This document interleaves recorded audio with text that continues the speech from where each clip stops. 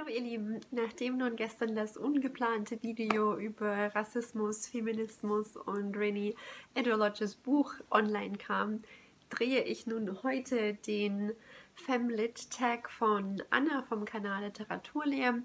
Ich habe natürlich ihr Video unten in der Infobox verlinkt und ähm, werde mich nun an die zwölf Fragen machen. Ich muss sagen, es hat mich doch auch einige Zeit gekostet, durch mein Bücherregal zu stöbern und die äh, Bücher, die passenden Bücher zu den Fragen herauszusuchen. Ich muss sagen, dass ich eine Autorin zweimal in dem Tag verwenden werde, weil es einfach gepasst hat. Und ich habe auch zwei Autorinnen dabei, die auch Anne bereits erwähnt hat. Aber Frage Nummer eins: Dein liebstes von einer Frau geschriebenes Buch, das du letztes Jahr lasst. Hier habe ich mir von Melina Michiko-Flachard Herr Kato spielt Familie herausgesucht. Das war wirklich ein großes Highlight 2018 für mich, denn es geht hier um eine sehr zarte Familiengeschichte mit einem etwas seltsamen Twist, denn Herr Kato ist gerade in Rente gegangen, ähm, muss sich da erst so ein bisschen daran gewöhnen, seine Familie ebenso und er nimmt einen Nebenjob an, in dem er Familienmitglieder für andere spielt. Also zum Beispiel tritt er dann in der Rolle eines Ex-Mannes auf oder eines Großvaters und die Menschen, die ihn buchen, haben ganz verschiedene Gründe dafür, die wir hier natürlich auch alle beleuchtet bekommen. Die zweite Frage, eine Autorin, über die nicht genügend Leute sprechen. Hier möchte ich gerne Josefa Mendes benennen.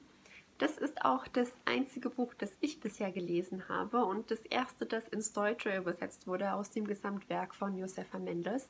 Sie ist eine in den Niederlanden sehr bekannte Autorin, hat auf Niederländisch geschrieben und ist als Jüdin vor dem Überfall der Nazis auf die Niederlande geflohen und ins Exil gegangen und auch in diesem Buch verarbeitet sie eigene Erfahrungen und hat ganz, ganz starke weibliche Charaktere hier geschaffen. Die weibliche Hauptfigur in dem Buch ist eine ganz besondere Frau und ganz speziell auch dargestellt. Dazu kommt noch ein ganz großartiger Schreibstil, Wortneuschöpfungen und ja, ich war wahnsinnig begeistert von dem Buch und kann es jetzt kaum erwarten, bis die nächste Übersetzung dann erscheint. Und wir bleiben auch in den Niederlanden bei Frage 3. Äh, der Frage nach einem historischen Buch einer Autorin, das vor 1950 spielt. Und obwohl die Autorin Genevieve Glassford, Glassford Engländerin ist, spielt ihr Buch Worte in meiner Hand in den Niederlanden. Es geht hier um eine junge Magd, die eine Stelle bei einem Buchhändler antritt und das für sie ganz besonders ist und schön, denn sie liest und schreibt wahnsinnig gerne. Und eines Tages trifft sie dann dort auf René Descartes und ein Austausch beginnt zwischen diesen beiden Personen, der sehr schön geschildert ist in dem Buch. Frage Nummer 4, ein Sachbuch einer Autorin. Und hier zeige ich euch jetzt ebenfalls Lana Alexievich ähm, Anna hat diese Autorin auch gezeigt, allerdings mit einem anderen Buch. Sie hielt ihr Buch über Tschernobyl in die Kamera und ich möchte euch gerne Secondhand Zeit ans Herz legen, denn in diesem Buch hat die Autorin, die übrigens auch einen Nobelpreis erhielt, verschiedene Menschen interviewt und diese Interviews niedergeschrieben und in allen Interviews geht es um um den Zusammenbruch der Sowjetunion. Wir erfahren hier ganz persönliche Sichtweisen, sowohl von Gewinnern als auch Verlierern dieser einschneidenden Wende. Frage Nummer 5. Das Buch einer Schriftstellerin, das dir die Augen öffnete. Ich habe mir hier Human Acts oder auf Deutsch Menschenwerk von Han Kang herausgesucht. Sie ist eine koreanische Autorin, die hier über die Ereignisse in Gwangju in Südkorea 1980 schrieb, als dort der Staat mit sehr großer Gewalt auf einen Studentenaufstand reagierte. Ich war mir dessen nicht bewusst. Ich weiß auch recht wenig über südkoreanische Geschichte und das ist noch gar nicht so lange her. Das passierte in dem Jahr, als mein Bruder geboren wurde ein LGBTQ-Plus-Buch einer Autorin. Dafür habe ich mir Ellie Smiths Kurzgeschichtensammlung die ganze Geschichte und andere Geschichten ausgesucht. Denn was ich an diesen Kurzgeschichten so schön fand, war, dass sie verschiedene Beziehungsgeflechte analysieren und dass gleichgeschlechtliche Beziehungen hier ohne großes Trara einfach ganz natürlich in die Geschichte eingewoben sind und das nicht spezifisch herausgestellt ist, dass wir jetzt eine LGBTQ-Plus-Geschichte haben. Und ich würde mich sehr freuen, wenn wir in unserer Gesellschaft irgendwann auch an dem Punkt angelangen, dass man einfach nicht darüber sprechen muss, weil es ganz normal und natürlich ist. Frage Nummer 7. Ein empfehlenswertes Debüt. Hier suchte ich mir Krokodilwächter von Katrine Engberg aus, eine dänische Autorin, die eigentlich Tänzerin und Regisseurin war und sich dann aber irgendwann wegen ihrer Liebe zu Büchern und Krimis dazu entschied, selbst einen Krimi zu schreiben, der in Kopenhagen spielt. Ihr wisst, dass ich normalerweise keine große Krimi- und Thriller-Leserin bin. Allerdings hat mir dieses Buch sehr gefallen, denn Kopenhagen ist hier nicht nur Kulisse, sondern Protagonist. Außerdem gibt es natürlich, wie in einem skandinavischen Krimi zu erwarten, charismatische Ermittler und ähm, einen recht brutalen Mord an einer jungen Frau, der dann einen Twist erhält, denn im gleichen Haus lebt eine Schriftstellerin, deren Manuskript große Ähnlichkeit zu dem Mord aufweist.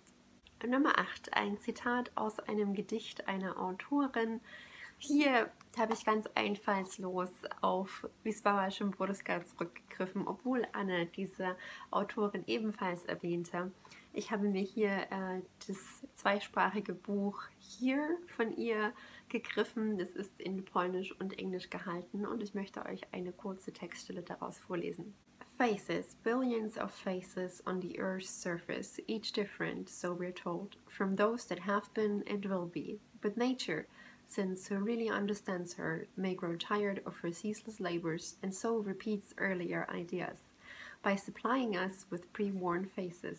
Those passers-by might be Archimedes in jeans, Catherine the Great draped in resale, some pharaoh with briefcase and glasses. Nummer 9. Die Biografie oder die Memoiren einer bemerkenswerten Frau.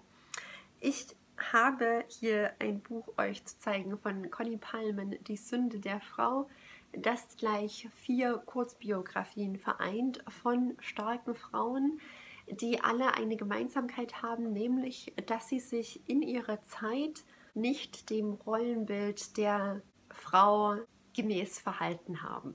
Es geht um Marilyn Monroe, wie ihr schon auf dem Cover sehen könnt, aber auch um Marguerite Duras, Jane Bowes und Patricia Highsmith. Deine Lieblingsautorin, die einer anderen Ethnie angehört als du selbst. Jetzt, ich weiß nicht, ob es Schummeln ist, aber ich habe euch diese Autorin bereits in diesem Video gezeigt und das ist Han Kang. Ich zeige euch nur jetzt immer ein anderes Buch, The Vegetarian oder Die Vegetarierin auf Deutsch. Ich finde, Han Kang hat einen ganz außergewöhnlichen Schreibstil, den ich vorher noch nirgends so richtig kennengelernt habe und ich mag auch diese englischen Übersetzungen. Ich finde, Deborah Smith hat hier herausragende Arbeit geleistet, den Schreibstil auch ins Englische zu transportieren. Übrigens ist Deborah Smith, die Übersetzerin, auch eine der Gründerinnen eines unabhängigen Verlages, Tilted Access Press, die sich darauf spezialisieren, asiatische Literatur, die oft wenig Chancen hat, im Westen großen Absatz zu finden, ähm, zu übersetzen und zu publizieren. Elf, eine Autorin, die aus den Naturwissenschaften kommt, hier möchte ich euch gerne Quallen von Liza N. Gershwin zeigen. Das ist eine australische Biologin, die sich und ihr Leben den Quallen verschrieben hat. Das Buch ist übrigens auch ganz wunderschön mit sehr tollen ähm, Fotografien von Quallen. Ich zeige euch mal ein paar. Und ich habe hier sehr viel gelernt über eine Tierart, über die ich vorher recht wenig wusste.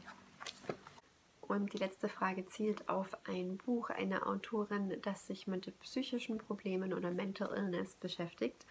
Ähm, ich habe hier ein Buch von Katarzyna Tutschkova, Das Vermächtnis der Göttinnen. Das Buch spielt in den Weißen Karpaten, also in einem Gebirgszug an der Grenze zwischen Tschechien und der Slowakei. Und es ist auch eine Art historischer Roman, denn es geht hier um eine Familiengeschichte, in der Hexen eine Rolle spielen, beziehungsweise Heilerinnen, die in einem Dorf in diesen Bergen gelebt haben. Und äh, das ist ein ganzes Heilerinnengeschlecht, also das Wissen über Medizin und Heilung wurde von einer Frau zur nächsten über Generationen weitergegeben. Und dieses Heilerinnengeschlecht hat die Aufmerksamkeit Himmlers auf sich gezogen und wurde in seine Hexenkartei eingetragen. Später dann im Sozialismus wird eine der letzten dieser Heilerinnen dann in eine psychiatrische Klinik gesteckt. Und ob das aus politischen Gründen geschah oder weil diese Frau psychische Probleme hatte oder vielleicht auch ein Mix aus beiden, das versucht die Protagonistin in dem Buch herauszufinden und sie geht dabei auch noch einige Generationen weiter in die Vergangenheit. Ich fand das Buch wahnsinnig interessant und der Schreibstil war auch ganz, ganz toll. Das ist eines meiner Lieblingsbücher. Anna hat ja bereits eine Vielzahl von anderen Booktubern und Booktuberinnen getaggt. Ich möchte gerne noch Nicole liest so gerne, Melanie liest, Jennys Lesestoff, Schwarz auf Weiß und Senf dazu zu diesem Tag einladen, wenn ihr möchtet. Und damit vielen Dank fürs Schauen. Ich wünsche euch noch einen ganz wundervollen Sonntag und hoffe, wir sehen uns bald wieder. Tschüss!